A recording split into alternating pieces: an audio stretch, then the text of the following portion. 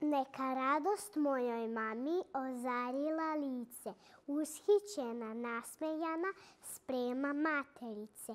Ja u ruci kanap držim, dok joj ruku stežem, vrebam zgodu da je što pre za krevetić vežem.